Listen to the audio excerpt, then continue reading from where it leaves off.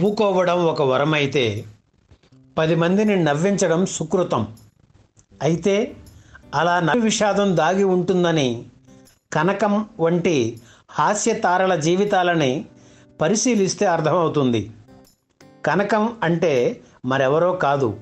కీలుగుర్రం చిత్రంలో రాక్షసి గుణసుందరి కథ చిత్రంలో మకరకన్య షావుకారు చిత్రంలో చాకలి రామి ఇత్యాది చిత్రాల్లో నటించిన నటి.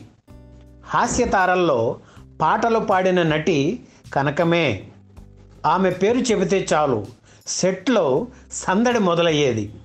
రకరకాల పిండి వంటలను ఇంట్లో చేసుకొని తీసుకువచ్చి సెట్లో ఉన్న వాళ్ళందరికీ పెట్టేవారు. ఇక చాలు బాబోయ్ అన్న ఊరుకునేవారు కాదు. ఆనాటి షూటింగ్స్లో అలా ఆప్యాయతలు వెళ్ళి విరిసేవి హాస్యనటిగా ఒక వెలుగు వెలిగిన కనకం ఆ తర్వాత ఏమయ్యారు? ఎక్కడున్నారు?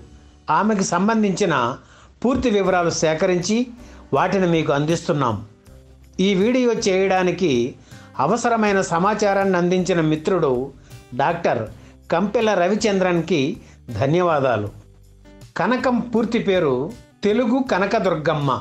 పంతొమ్మిది వందల ముప్పై నవంబర్ పన్నెండున ఒరిస్సాలోని ఖరగ్పూర్లో అప్పలస్వామి షోలాపురమ్మ దంపతులకు జన్మించారు.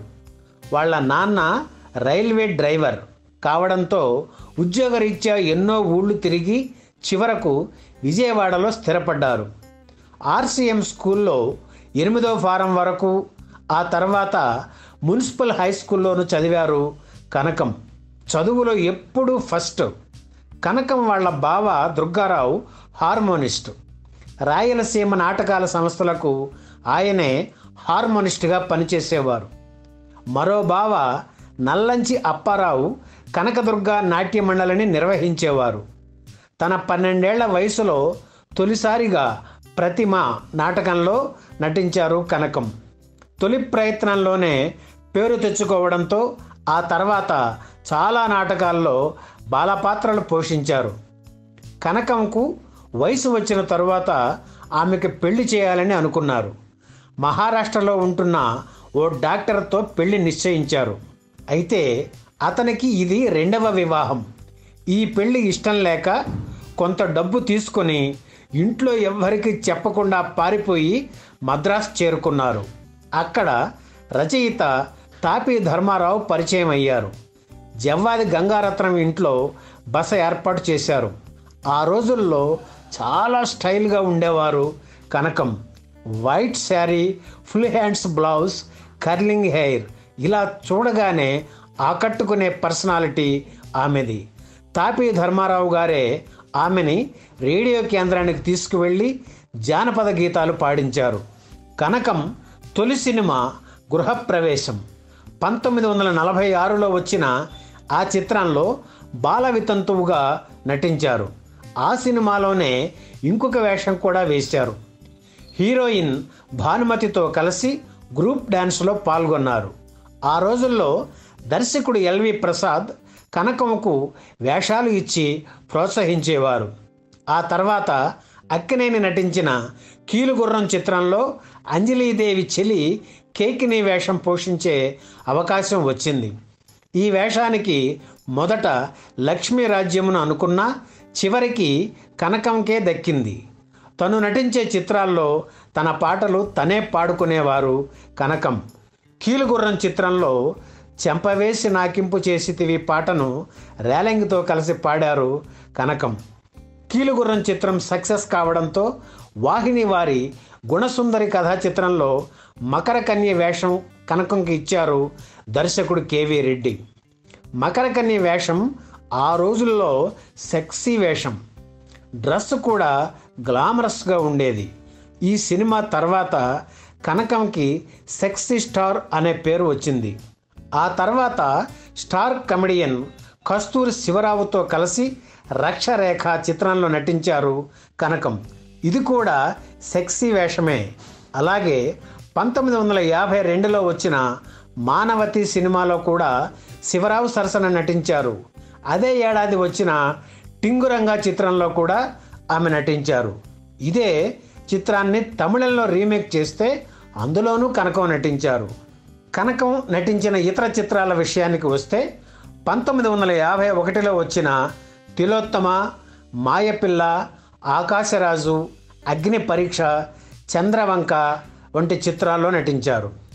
పంతొమ్మిది వందల యాభై రెండులో వచ్చిన ఆడబ్రతుకులో రఘురామయ్య సరసన దాసి చిత్రంలో ఎన్టీఆర్ రెండవ భార్యగా నటించారు. పంతొమ్మిది వందల యాభై మూడులో వచ్చిన ప్రియురాలు చిత్రంలో వేశ్యమాత పాత్ర పోషించారు. గుణసుందరి కథ చిత్రంలో కనకం పోషించిన పాత్ర చూసి షావుకార్ చిత్రంలో చాకలి రామి పాత్ర ఇచ్చారు ఎల్వి ప్రసాద్.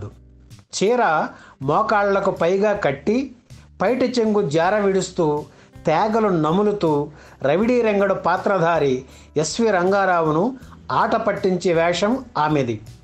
ఈ సినిమా విడుదలైన తరువాత ఎన్టీఆర్ రామక్క అని పిలిచేవారు ఆమెని. నటిగా జీవితం హాయిగా సాగుతున్న తరుణంలో కనకం వేసిన తప్పటడుగు చిత్ర నిర్మాణం చేపట్టడం. పంతొమ్మిది వందల యాభై ఆరులో మంత్రవాది శ్రీరామమూర్తి పద్మిని జంటగా దేశదిమ్మరి చిత్ర నిర్మాణం ప్రారంభించారు. శ్రీశ్రీ ఆరుద్ర మాటలు పాటలు రాశారు. పెండియాల నాగేశ్వరరావు సంగీత దర్శకత్వంలో పాటలు కూడా రికార్డు చేశారు. కానీ నమ్ముకున్న వాళ్ళ మోసం చేయడంతో చిత్ర నిర్మాణం మధ్యలోనే ఆగిపోయింది.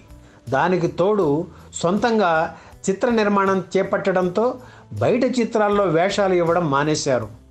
చేతిలో డబ్బు కరిగిపోయింది. సినిమా రంగం పట్టించుకొని రోజుల్లో నాటక రంగం కనకమును ఆదుకుంది. పంతొమ్మిది వందల అరవై రెండు నుంచి ఈలపాట రఘురామయ్య డ్రామా ట్రూప్లో చేరి చింతామణి నాటకాన్ని వందలాది ప్రదర్శనలు ఇచ్చారు. పంతొమ్మిది వందల అరవై ఆరులో మళ్ళీ ఆమెకి లేత మనసుల చిత్రంలో వేశ్యమాత వేషం పోషించే అవకాశం వచ్చింది. ఆ తర్వాత ఏవిఎం సంస్థ నిర్మించిన భక్త ప్రహ్లాద అవే కళ్ళు చిత్రాల్లో నటించారు. పంతొమ్మిది వందల డెబ్భైలో వచ్చిన ద్రోహి చిత్రం కనకం చివరి చిత్రం. నటిగా కనకం ఒక వెలుగు వెలిగారు. ఆమెకు నచ్చిన కూల్ డ్రింక్ ఆ రోజుల్లో మద్రాసులో దొరికేది కాదు. అందుకే ఫ్లైట్లో బెంగళూరు వెళ్ళి ఆ డ్రింక్ తాగి మళ్ళీ ఫ్లైట్లో మద్రాసుకి తిరిగి వచ్చేవారు. నెలలో ఇరవై రోజులు అలా చేసేవారు. అంత వైభవంగా బ్రతికారు. అయితే సినిమాలు తగ్గాక అంత పతనం ప్రారంభమైంది. మద్రాసులో ఉన్న ఇల్లు కారు అమ్మేసుకొని పంతొమ్మిది వందల డెబ్భై నాలుగులో విజయవాడ చేరుకున్నారు కనకం. మిగిలిన నూట యాభై తులాల బంగారం ఖర్చులకు సరిపోయింది. చేసిన అప్పులు తీర్చడానికి మళ్ళీ నాటకాల్లో నటించారు. అలా పంతొమ్మిది వందల ఎనభై రెండు వరకు ఎన్నో నాటకాల్లో నటించారు. చివరి రోజులు దుర్భరంగా గడిచాయి. తన జీవిత కథను ఎడారి స్వప్నం పేరుతో పుస్తక రూపంలో తెచ్చారు కనకం. ఆర్థికంగా ఎన్నో ఇబ్బందులు పడిన కనకం రెండు వేల పదిహేను జూలై ఇరవై ఒకటిన విజయవాడలో తుది శ్వాస విడిచారు. ఈ వీడియో మీకు నచ్చితే లైక్ చేయండి షేర్ చేయండి వెంటనే సబ్స్క్రైబ్ కూడా చేయండి.